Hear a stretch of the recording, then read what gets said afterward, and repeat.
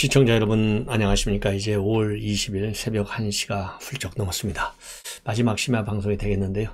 어, 첫 번째 뉴스는요 여러분들 아시다시피 이제 오늘 오후 2시에 인준 할 거냐 말 거냐 하는 국회 본회의가 열립니다. 그래서 이 한동훈 후보자 어, 이제 본회의가 열리는데요. 총리의 경우에는 국회가 반드시 통과를 시켜줘야만이 대통령이 임명할 수가 있어요 이 문제에 관해서는 윤석열 대통령이 이미 그 상식에 따라서 처리해 주길 바란다 라고 야당에 요구를 해 놓은 상황이고요. 그리고 지금 윤석열 대통령의 경우에는 어, 일각에서 얘기하는 대로 정우영을 말하자면 어, 사퇴를 시켜야만이 어, 임명을 처리해야만이 지금 야당이 한동훈 후보 한독 한독수 지금 총리 후보자를 인준시켜 줄 것이다. 거래하자 이런 얘기가 지금 당내에서 많이 나오고 있는데요. 거기에 대해서는 상당한 역정을 낸 것으로 그러니까 그렇게 거래하는 것으로 장관과 총리를 거래하는 걸로 만약에 추진한다고 하면 지금 정호용 후보자의 경우에 특별한 불법 사항이 없다. 자 그렇다고 본다면 국민이 어떻게 생각하겠느냐? 거래할 생각이 전혀 없다. No action, no plan. 딱 이렇게 네, 어, 지금 나와 있거든요. 근데 JTBC가 아, 오늘 저녁에 조금 전에 보도한 내용을 보면 이러한 청와대 내의 기류, 그리고 대통령의 기류에 미묘한 변화가 있다. 그래서 대통령 고위 관, 어, 실의 고위 관리자가 얘기하기를 야당이 성의를 보이면 우리 쪽에서도 성의를 보여주는 게 맞다. 예, 그래서 사실상 이제 연계하는 어, 시나리오로 어, 지금 가고 있는 그러한 변화를 지금 보도하고 있습니다. 그래서 지금 이것을 사전에 말이죠. 여야가 협, 어, 무슨 뭐 마크에서 몰래 비밀 협상을 하지 않고 먼저 어, 야당이 총리 인준안을 가결시키면 가결시키면 그러고 나서 후에 후에 그러니까 선 어, 총리 인준안 가결 후 정호영 사퇴입니다. 그러니까 선 사퇴 후 인준안 가결이 아니에요. 네, 그런 식으로 지금 기류가 아, 지금 바뀌고 있다라는 보도가 나오고 있어요. 자 그리고 그래서 총리 인준이 이루어지면 어, 대통령실에서는 어, 정호영 후보자가 자진 사퇴하는 방식을 고려 중인 것으로 그렇게 지금 보도하고 있습니다.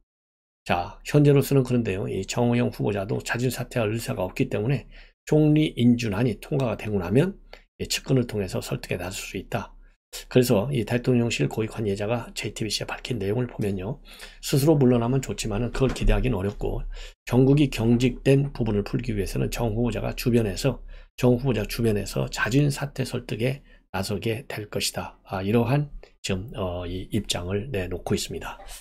자 그리고요 이렇게 이게 원만하게 협치 차원에서 인준 청문안이 인준안이 통과가 되고 정호영 음, 지금 후보자의 경우는 자진 서퇴하고 이렇게 돼야만이 야당이 다수당이기 때문에 야당의 국회의장을 넘겨주고 그리고 나서 이제 우리 여당은 법사위원장을 챙기고 이러한 큰 시나리오들이 또 나오고 있다고 합니다. 그래서 이제 막바지 이제 고비에 넘어선 것 같습니다. 예. 자, 그래서 이제 대통령이 어제까지도 어, 그야말로 상식적으로 해달라. 인사를 놓고 거래하는 것에는 반대한다. 지금 거래를 통해 한 사람을 죽이고 한 사람을 살리기로 한다면 국민이 어떻게 보시겠나 이런 어, 생각을 했지만은요. 지금 당 내부에서 특히 예를 들어서요. 지금 이영수, 이 하태경 어, 이런 어, 사람들도 뭐라고 하냐면 하태경 의원의 경우에는요 대통령이 장, 정우영 후보자를 뽑고 싶어하는 마음이 굉장히 강하다. 그런데 이제 한덕수 후보자 건이 걸려있기 때문에 협치 차원에서 정 후보를 다 자르고 한 후보를 통과시키게 될 것이다 라고 예상을 하고 있고 또 이양수 의원 같은 경우도요 정 후보자와 한 후보자 문제를 연결해서 보기에는 어려운 부분이 있다 정 후보자는 여러 가지 면에서 국민에게 설명이 어려운 부분이 있고 또 그러면서 한덕수, 인준, 정호영, 낙마가 가장 국민 눈높이에 맞고 합리적인 아니다. 그렇게 되는 것이 여야가 서로 서로 다 편할 것이다. 아, 이러한 또이 어, 어, 입장도 내놓고 있습니다. 자 이번에는요 이제 뭐이 정호영 음, 그다음에 한덕수 인준 문제는 이 정도로 하고 제가 보기에는요 지금 어, 이 여당 야당 내부에서도 어, 미묘한 지금 기류가 흐르고 있고 딜레마에 빠져 있다라고 하는데 지금 어, 야당의 경우에는 우선 야당 원로들 어, 그러니까 예, 문희상 의원, 아, 정대철 고문, 또 이재명 지금 비대위원장 상임 고문, 송영길 이런 분들이 예, 통과시켜 주자 이런 얘기를 하고 있기 때문에 제가 보기에는요. 그리고 이제 그렇게 해서 인준안을 청문회 에, 인준안을 에, 통과시켜 주면 어, 지금 야당 입장에서는요 자기네가 이제 발목 잡는 세력이 아니다 이래서 지방선거에 좀 유리한 분위기가 형성되지 않을까라는 기대를 하고 있는데 선거에 연계시키는 것은 저는 어, 발목을 잡았을 때는 영향이 크겠지만은 풀어준다고 해서 그게 지금 야당한테 우호적으로 플러스 알파의 여론이 예, 가리라라고 저는 생각하지는 않습니다. 자 이번에는요 이번에는 예, 문재인 대통령의 사저 매각 매국동 사저를 매각한 지 지금 이제 60일이 넘는데도 불구하고요 여전히 60일 잔금 지급 완료 시점에서 60일 이내에는 소유권을 이전해야 한다라고 부동산 등기 특별조례법에 되어 있는데 아직도 90일 매각일로부터요. 지난 2월 17일 날 26억 1662만 원에 매각했다. 이렇게 지금 내 발표져 있는데 90일이 넘었는데도 아직도 소유주가 문재인 대통령으로부터 되어 있어요. 근데 여러분들 잘 아시다시피 이 집이 너무나 비싸게 팔렸다는 거 아니에요? 지금 무려 어, 시가는 한 어, 뭐라 그럴까요? 9억 정도 가는데 26억에 팔았으니까 17억 정도의 시세 차이. 이건 너무 크다. 그래서 이거 뇌물 아니냐? 이런 의혹들이 제기된 바 있어요. 그리고 완전히 다 매매, 가 끝났다라고 밖에 볼 수 없는 게 지금 저 이 사저건축, 양산 사저건축 하는데 필요한 돈 14억 한 9,600만 원, 그러니까 한 15억을 마련하기 위해서 마련하기 위해서 금융기관에서 3억 8,800만 원은 빌렸고 나머지 11억 원은 사인간의 채무로 김정순 여사가 충당했다. 이렇게 밝혔거든요. 그리고 이 매곡동 사저를 판 돈은 전부 이 11억 채무 이거를 갚는 데 썼다. 이렇게 되어 있는데도 불구하고 그러니까 매매가 이루어진 건 맞잖아요. 왜?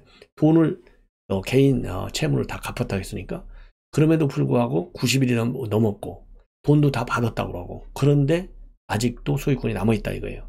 이거는 제가 보기에는요.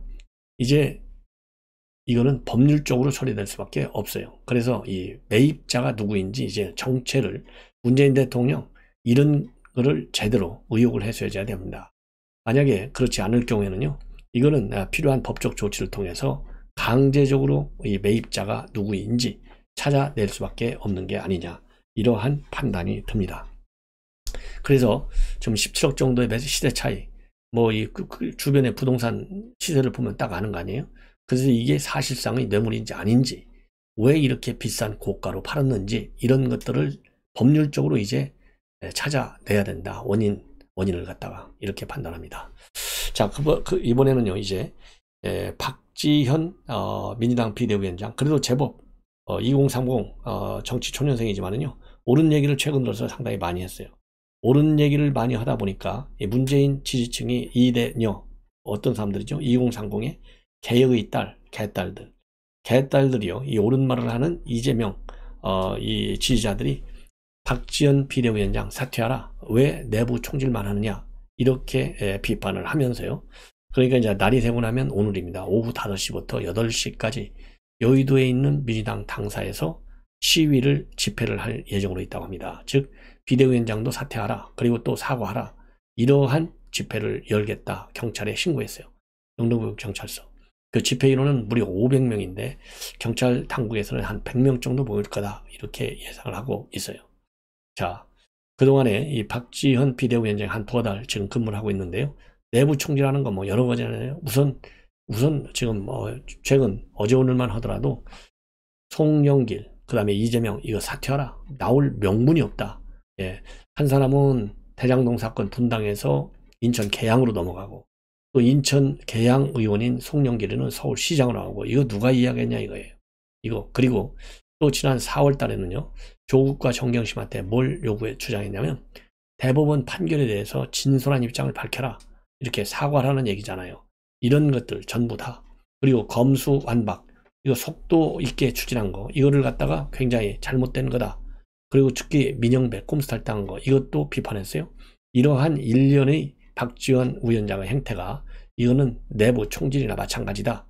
특히 말이죠. 이 최강욱 의원의 이성 기록 문제 이것도 사과라.